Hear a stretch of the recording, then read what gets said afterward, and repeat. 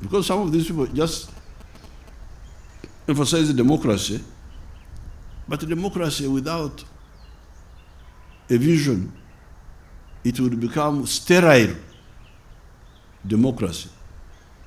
It must be democracy to achieve uh, uh, something. So, because of, of this line, we, which we started as a student movement, we, we, were able to build, first of all, a national political, political party. Because you remember, I told you that in 1962, no party could win 50% of the votes in Uganda. Because they were all sectarian.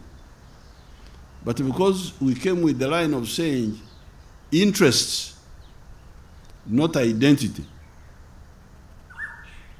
Ah, people now, they all have similar interests. We, re we realized number one, love Uganda, number two, love Africa. But you will not love Africa if you do not wake up if you are asleep. Because when you are asleep, you are satisfied with what you have. You don't know. You don't know what you, you, you, are lacking. So that's why we said no. Our student movements said point number three must be social economic transformation. The society must change. Must change. Because, because see, this is the big difference between Europe and Africa. Since uh, 1400, Europe has been changing. Instead of using manual labor, using uh, muscles, and, and sometimes uh, animal, animal power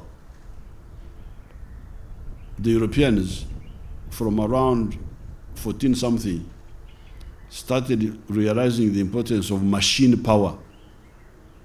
Machine power. Until they discovered the, the, the, the, the water pump, the, the pump, the, the, the, the, engine, the engine for pumping water. Then they, they went to the steam engine, electricity, uh, automation. Now there is uh, the artificial intelligence, machines who can, which can do the work of, of man, is very, very big danger to Africa.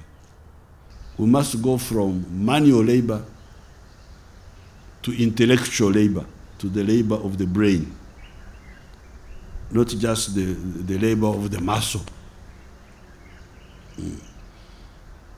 And all the elements of socio-economic transformation. We must build a middle class